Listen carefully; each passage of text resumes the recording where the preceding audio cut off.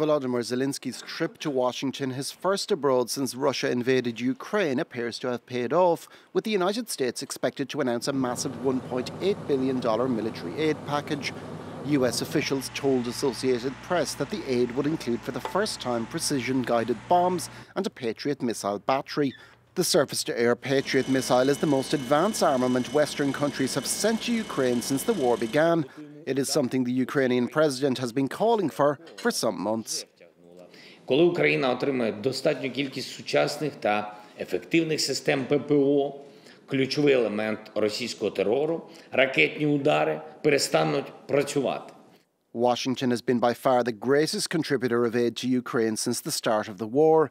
the $48 billion it sent up until November 20th includes $22.9 billion in military aid, more than half of it weapons and equipment, and the rest in the form of security assistance and grants and loans.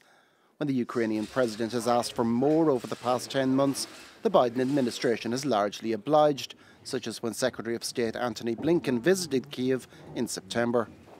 Mr. President, um, I am pleased to be able to announce, as we did uh, earlier today, uh, additional support for Ukraine, another $675 million in systems and supplies uh, that uh, your military is already using to such great effect.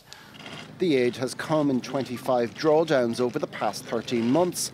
The last was a tranche of $400 million in early November. The latest delivery will ensure that more aid gets to Ukraine before the Democrats lose control of the House of Representatives in January.